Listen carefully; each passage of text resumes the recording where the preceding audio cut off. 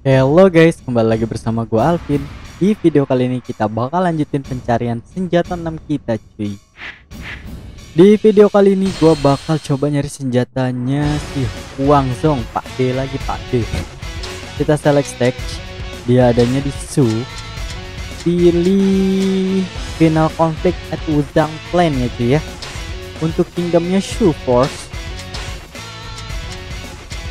Eh, mana sih Pak? Eh, ini dia sih Huang Zong. Satu gue bakal bawa Harper. Yang satunya lagi kita bawa Bow. Man. Untuk skillnya di sini ini dia. I already know this skill ada Bow kan dia udah level 53 itu ya. Untuk kudanya retare bodyguardnya enggak. Outfitnya nih cuy. DW7 kostum 1 kostum 2 ini original. Kenapa jadi Power Rangers kuning cuy ini DW3 DW4 DW5 DW6 emang DW6 begini ya? DW7 Sherlock Holmes delapan. Yang mana ya? Kita pakai ini aja deh biar kelihatan lebih muda gitu kali ya. Untuk gameplaynya difficultnya hard ya cuy ya. Chaos boleh ultimate boleh tapi minimal hard. Dan untuk misi rahasianya kalahkan Xiao Yuan dalam waktu 3 menit bala bantuan si gue tiba. Artinya setelah si Xiao Yuan ini spawn ya cuy ya? Oke. okay. gimana cara membuat si Xiao Yuan spawn? pertama nih kalian hajar si Chao Zhen hop.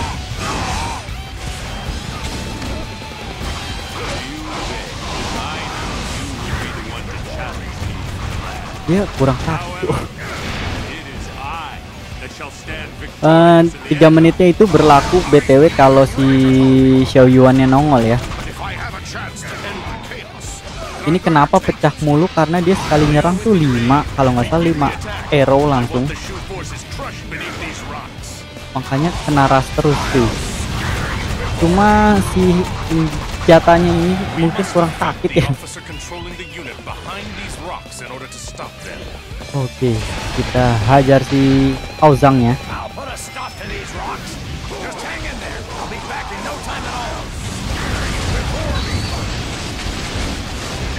Hmm. Uh, setelah Hauzangnya meninggoy, kalian lurus aja ke depan. Ini di skip karena kita dilemparin batu sama si Bapak Yujin cuy. Kalian masuk ke gua-gua sini nih. Ini lumayan susah ya di stacknya cuy. Makanya kalau bisa sih farming dulu si Huangzongnya. Atau bawa dua halberd boleh sih rekomendasi gua soalnya si bow ini bener-bener gak ada panah eh gak ada panahnya bener-bener gak ada rasanya cok oke kita hajar dulu si Cauren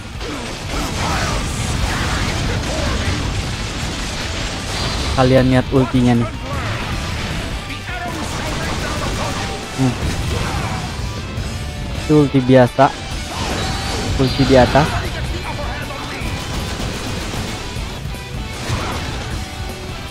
Dan ini dia spesial ultinya. Waduh mana caurannya hilang? Kurang berasa coy jadi saya sangat merekomendasikan membawa dua halberd kalau level kalian masih 30 40 itu masih berat lah menurut gua. 50 deh. Pas udah kebuka skill unlock bow udah lumayan gitu. Kita hajar ini si Dianman astagfirullah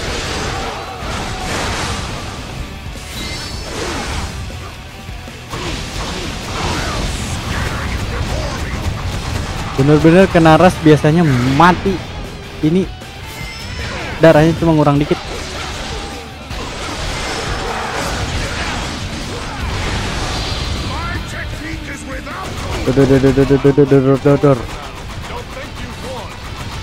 ini lama sih mukulnya cuma kayak nggak ada damage-nya gitu loh Oke, kita cari si Eugene-nya cuy. Yang lemparin batu nih dari atas. Kampret emang.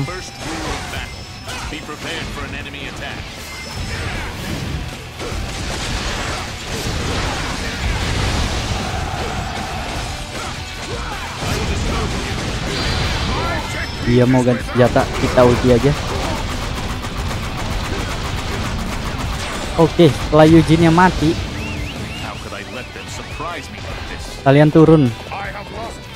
Abisin semua jenderal atau officer yang ada di bawah cuy ya. Yang ada di tengah sini pokoknya deh.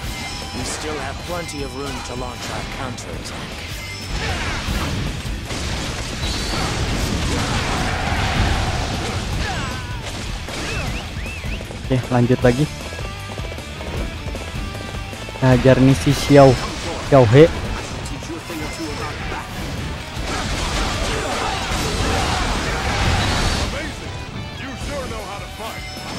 Hmm.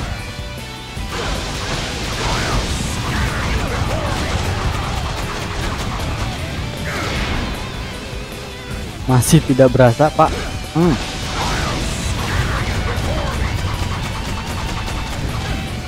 Hmm, akhirnya mati.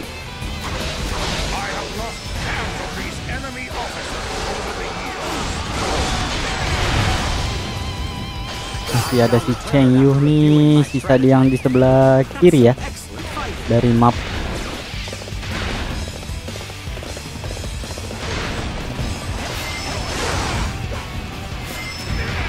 Bentar.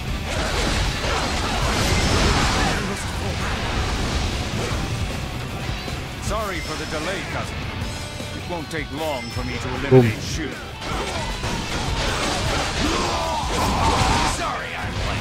Setelah mereka semua yang ada di tengah mati, kalian jalan ke sini cuy.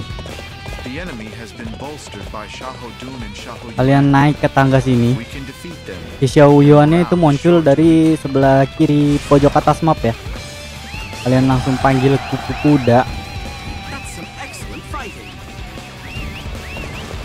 Nah. Di sini harusnya udah sekarat sih sama si Guan Yu.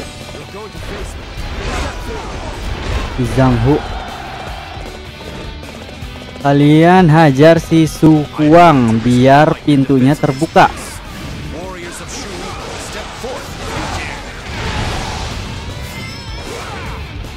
Keras ini si Suhuangnya Oke setelah si Suhuang si Suhuang yang mati langsung buka. Ini dia si Xiao Yuan nya cuy. Kalian harus bunuh dalam waktu kurang 3 menit ya. Semenjak dari kita di tengah tadi di waktunya itu udah berjalan. Jadi harus cepet-cepet di sini. Btw kalau gua musuh di sini apakah mati? Kurang darahnya dikit banget sumpah kayak nggak ada rasanya gitu loh.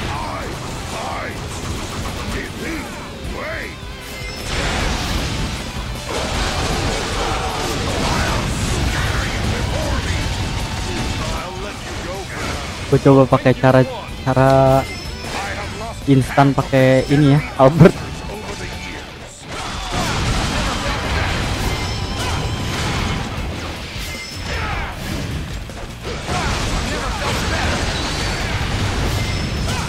Hmm.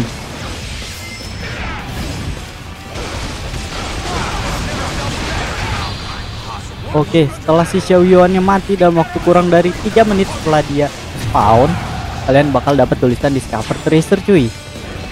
Discover Tracer itu ada di situ. Di agak ke kiri map ya.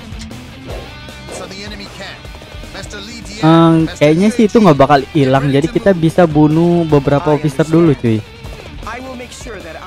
Kita ajar dulu nih si Sun Yu. success. This is where we make our stand. Your fighting spirit grows stronger with each step. Ditahan lagi, padahal dia yang kena ras cok.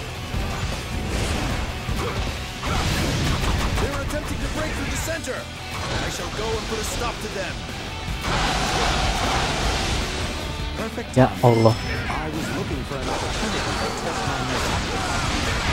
Di Pak Denny emang rada-rada damage-nya, Pak. Nah.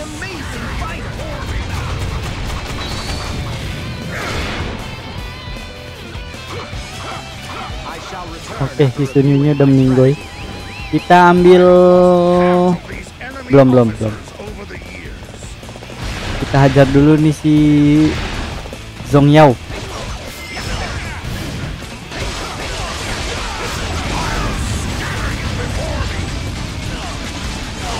Oke, mati dia. Pintu gerbangnya sudah terbuka. Kita harus muter di sini, cuy. Nah, hajar dulu nih si Gojia. Battle.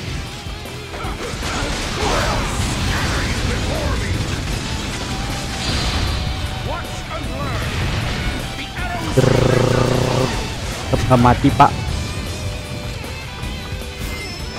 Tembak dari jauh. Oke, Gojiannya udah mati. Kita ambilnya ada di sini, cuy, di dalam sini ya. Ini dia kotak senjata warna emas, cuy. Senjata bintang 6-nya Violet Dragon Bow. Wow, namanya keren ya. Oke, kita langsung ke tengah. Kalian mau hajar cow-cow langsung bisa. Tapi gue di sini habisin officer-officernya dulu nih kayaknya. Lumayan XP sama gold. Tapi suka gua gua ambilin sih kalau dropan. Soalnya kadang gua males jualin senjatanya kalau udah banyak cuy.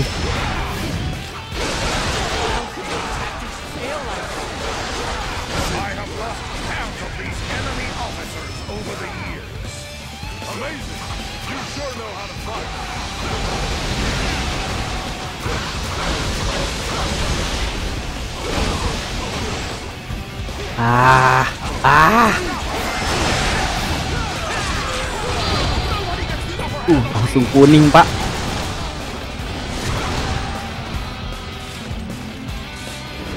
Nanti senjata dikit langsung kuning. Kita coba musuh lagi deh.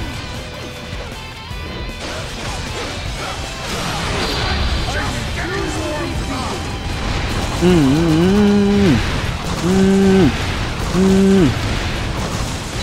Tetap nggak ada rasanya, Pak.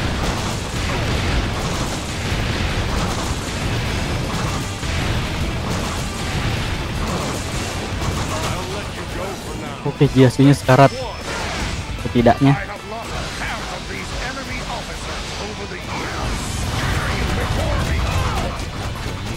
Jasunya mati, susunya belum.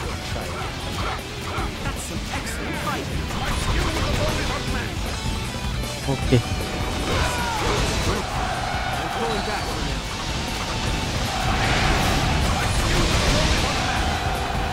Masya Allah.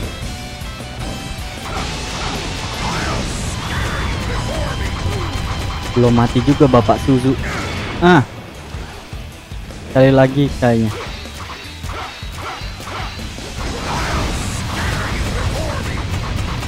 Ditahan, Pak.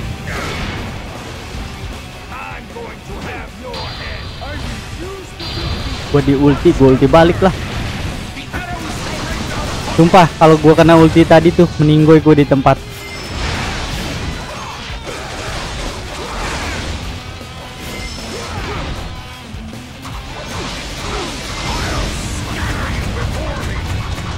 Oke, susunya mati ya. Ini masih ada satu lagi nih sih. Pintunya udah kebuka tuh, Pak. Satu, dua, tiga. Satu, dua, tiga, empat. Oke lah, kita langsung ke taruh hajar dulu si Jianjinya.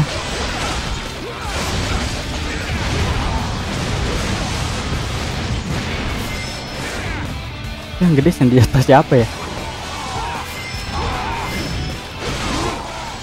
Oke, kita kasih caw-cawnya doang kayaknya nih. Masih ada Dian Wei BTW. Kita cicil-cicil dulu.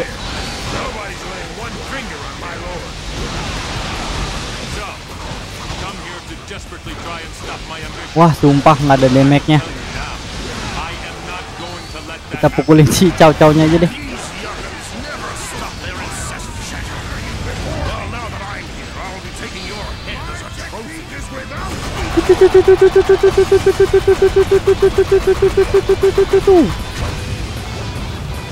Sekali lagi. Ih, ditangkis pula, Pak. Serangan terakhir. Masih pula ditangkis.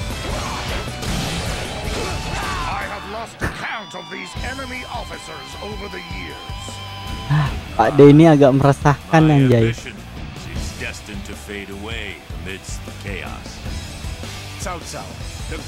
Tadi senjata udah kita ambil ya. Sampai lupa gua. Everyone, I owe this victory to your Pak Dian Wei ini kenapa masih ngeliatin saya, Pak? Oke, selesai ya si Huang Zhong sampai naik level lagi dia. Dan ini dia penampakannya senjata bintang 6-nya si Huang Zhong. Namanya Violet Dragon Bow. Itu kan warna ungu lagi. Kalau nggak ungu, merah sama apa hijau ya kalau salah. Oke lah. Senjata siapa lagi yang bakal kita cari cuy? Tulis di kolom komentar aja kalau karakter favorit kalian belum gua cari senjatanya ya. Oke. Terima kasih sudah nonton video ini. Jangan lupa like, komen dan subscribe. Sampai berjumpa di video selanjutnya. Bye bye.